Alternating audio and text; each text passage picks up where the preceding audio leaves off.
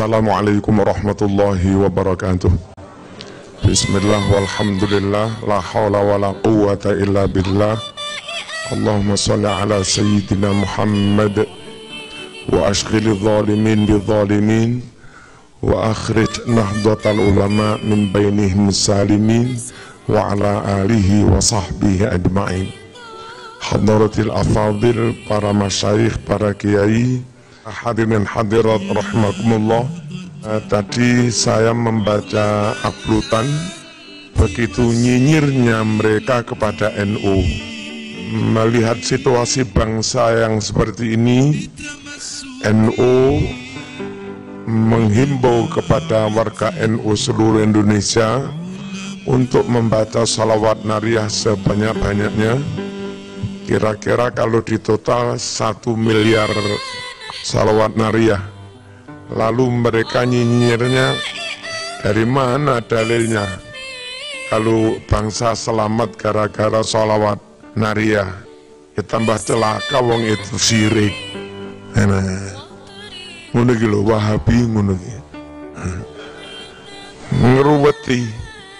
Loh apa sih yang salah dengan salawat nariyah kalau dia salah karena redaksinya enggak dari Nabi, kita NU Muhammadiyah PKS HTI biasa kok bersalawat yang redaksinya buatan sendiri, enggak dari Nabi Muhammad SAW. Pengurus NU sambutan, semoga salawat salam. Pengurus NU Muhammadiyah sambutan, semoga salawat salam. Pemkari sambutan, semoga salawat salam PKS sambutan. Ya sama. Semoga sholawat salam terlimpah pada junjungan kita Nabi besar Muhammad. Itu bersolawat pakai redaksi bahasa Indonesia. Yang Nabi tidak pernah memberi contoh sama sekali. Dan itu berarti redaksi sholawat bid'ah. Kalau memang Naria Munjiat itu bid'ah lantaran dianggap redaksinya enggak dari Nabi lewong mereka pun juga sering bersolawat yang redaksinya tidak dari kanjeng Nabi. Kenapa kalau NU yang membaca jadi bid'ah? Kalau lain NU yang membaca jadi sun sunnah gitu loh. Terus tolok ukurnya ini nopo nih solawat yang maksur maksuroh dari Nabi itu pakai fi'il amar. Allahumma salli. Dan NU maupun non NU sering sholawat pakai fi'il madhi. Juga atau isim apa jumlah ismiyah yang apa redaksi sholawat yang enggak dari Nabi ini yang berbahasa Arab. Wassalatu wassalamu ala asrafil anbiya wal mursalin itu sholawat pakai jumlah ismiyah nggak dari Nabi itu karangan sendiri. Karena apa oleh sing moco NU bid'ah gitu. Sholawat pakai fi'il madi begitu dengar nama Nabi disebut Muhammad sallallahu alaihi wasallam. Semua mau NU mau nggak NU ya pakai sholawat sallallahu alaihi wasallam. Jarang sekali menjawab nama Nabi disebut lalu pakai fil amar Muhammad Allahumma alaihi itu jarang. Bahkan yang resmi menjadi ketik komputer di Arab itu begitu ditik yes, berbunyi sallallahu alaihi wasallam. Itu pakai fil madhi. Nah salawat pakai fil madhi nggak masur tidak dari kanjeng Nabi. Kok yang nggak bid'ah juga gitu loh mereka mencela menceli mencela menceli lalu kalau nariyah dianggap sesat karena ada tawasul lawang tawasul itu juga dari Nabi. Monggo lah dibaca itu ojo moco HP aja monggo diteke nih nggak paham boleh jadi wahabi monggo dilihat di Bukhari itu nomor 1009 1010 yang 1009 itu redaksi tawasul sahabat berdoa di, di depan kanjeng Nabi tawasul dengan kanjeng Nabi itu loh kanjeng Nabi nggak nyinyir Fitnah. Enggak. Wa abyadu yustasqal ghamamu biwajhihi. Sumalul yatama ismatun lil aramili. Wa abyadu begitu putih bercahaya wajah baginda Nabi Muhammad SAW. Yustasqal ghamamu biwajhihi. Itu kan doa tawasul. Lalu redaksi itu dipinjam di Salawat Nariyah wa yustasqal ghamamu biwajhihil karim. Itu diambil dari situ Bukhari nomor 1009. Yustasqa muka-muka Allah nurun ke udan. Biwajhi lantaran wajah kanjeng Nabi yang putih bercahaya itu. Kalau itu syirik, hadis Bukhari mengajarkan syirik.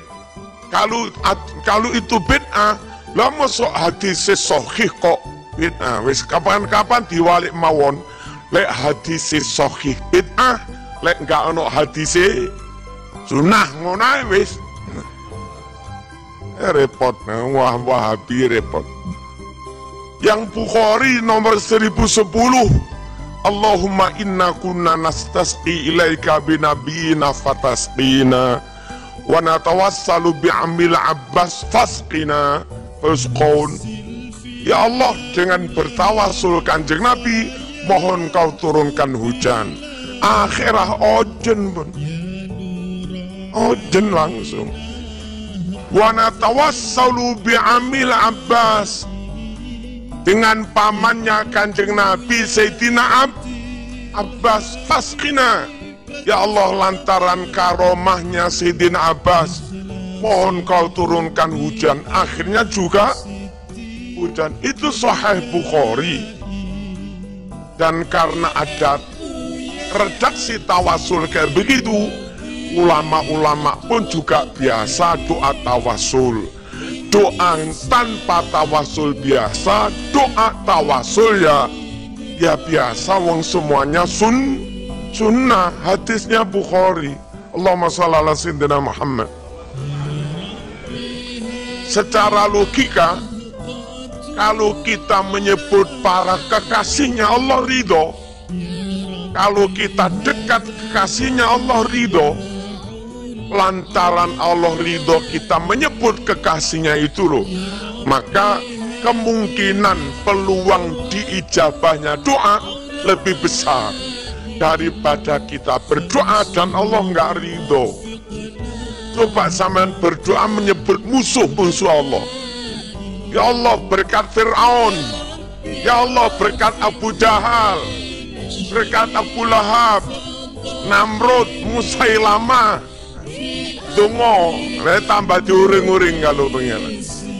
Doa dengan menyebut kekasihnya, di samping itu ajaran di Sahih Bukhari, plus secara logika membuka peluang diijabah doa semakin bes, besar.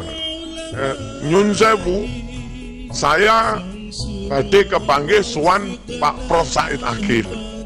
Nah, kalau mau tepan, karena saya kepingin ketemu maka saya membawa memo dari orang yang dekat Pak Said itu. Barokah memo itu. Ini akhirnya Pak Said menerima saya. Itulah tawasul ande marzuki dewe andongolan lanan gak pantas diijabah wong dosanya akeh hati ini juga gak bersih kadang makan subhat juga tapi lantaran saya jejer Kiai Tolha, mestinya yang disayang Allah dijawab oleh Kiai Tolha. Tapi krono saya berdoa gandeng tangannya katut diijabah. Itulah tawasul. Bukan kita minta pada selain Allah. Mintanya pada Allah tapi menyebut kekasih kekasihnya. Ya Allah, lantaran karomahnya Mbah Sunan Ampel saya minta apa? Lantaran wajah Nabi, lantaran karomahnya Sidina Abbas, kami minta apa? Itu lo tawas, tawasul.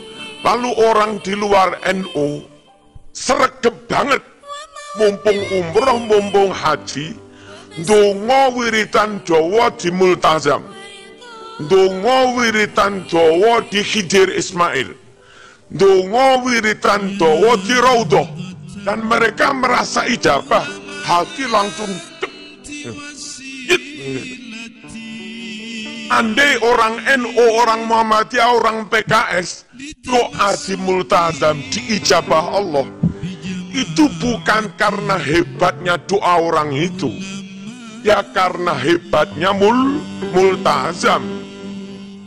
Andai kita berdoa diijabah karena hebatnya kita, ijabah itu nggak usah nunggu di multazam. Neng unisma ya diijabah, neng gasek ya di ijabah. Kalau ternyata doa di unisma nggak ijabahi, mulai neng tolong agung kono ya nggak di ijabah maneh.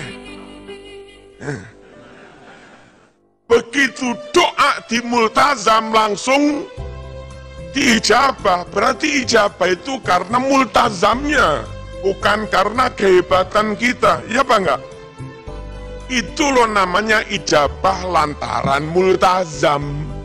Wong dongo ngotot neng multazam, sadar atau tidak, dia tawasul dengan multazam. Tabarukan dengan multazam orang ngotot dongo neng rodoh akhirnya ijabah. Sadar atau tidak dia doa pada Allah tawasul tabaruk dengan rau raudoh loh kena apa wong mereka yang lakoni ngono?